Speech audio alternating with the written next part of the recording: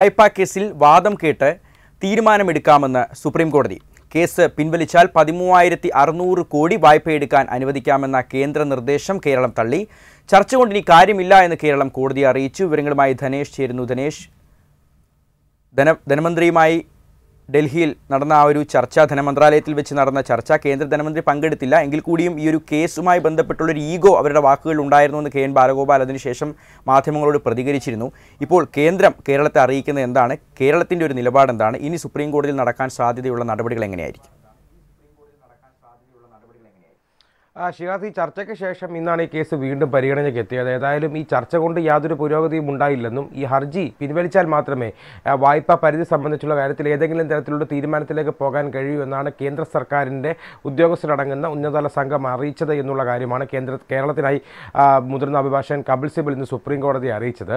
ഏതായാലും അർഹതപ്പെട്ട കാര്യമാണ് കേരളം ആവശ്യപ്പെടുന്നതെന്നും അതുകൊണ്ട് തന്നെ ഈ വായ്പാ പരിധി ഇടക്കാല ആവശ്യമെന്ന സംസ്ഥാനത്തിന്റെ ഹർജിയെ സംബന്ധിച്ചൊരു തീരുമാനം ഉണ്ടാകണമെന്നുള്ള ആവശ്യവും ഇന്ന് കേരളം മുന്നോട്ട് വെച്ചു.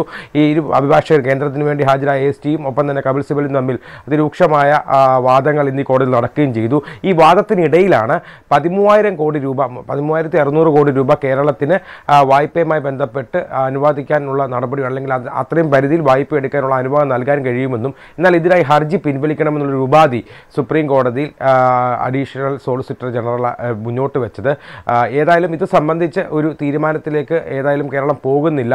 പകരം ഇത് കോടതിയിലൂടെ തന്നെ തീരുമാനിക്കപ്പെടേണ്ട വിഷയമാണ് എന്നുള്ള കാര്യമാണ് കപിൽ സിബൽ പ്രധാനമായി ഉന്നയിച്ചത്.